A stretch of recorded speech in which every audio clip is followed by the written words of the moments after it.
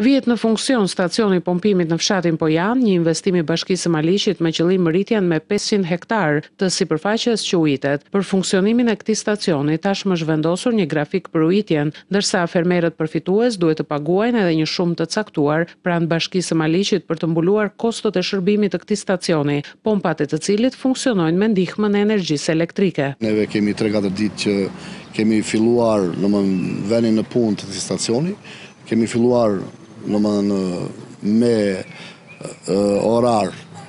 të stacionit të pompimit për arsye sepse kemi edhe një problem të cilin unë gjej rasin që t'i bëj një thirrje komunitetit të cilët merren ose kërkojnë të marrin ujë nga ky stacion pompimi që të na mirëkuptojnë drejt sepse ai është një stacion pompimi i sapo ndërtuar dhe është me energji elektrike të cilën bashkia e ka të detyrueshme për ta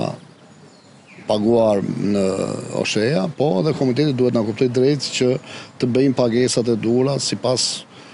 sipërfaqeve që ujitin që ne të përballojmë me sukses ose të funksionojë më së miri ky